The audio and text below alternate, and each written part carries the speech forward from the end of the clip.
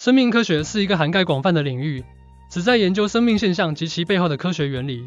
这个领域包括分子生物学、遗传学、生物化学、生理学、生态学、进化生物学等。而这些研究领域的发展与科技进步息息相关。近年来，生命科学领域的一项重要技术就是基因编辑，其中最著名的技术是 CRISPR-Cas9。这项技术能够编辑 DNA 序列，从而修改或删除基因，甚至是增加新的基因。具有很大的潜力在基因治疗、农业和研究方面发挥作用。此外，人造器官的研发也是生命科学领域的一个重要发展方向，尤其是对于等待捐赠器官的患者而言。通过使用生物材料或 3D 列印技术，科学家们能够制造出可以移植到人体内的器官，使医疗技术得以更进一步。另一个有趣的研究领域是蛋白质折叠。蛋白质是生命体内重要的分子，其在许多生命活动中扮演着重要角色。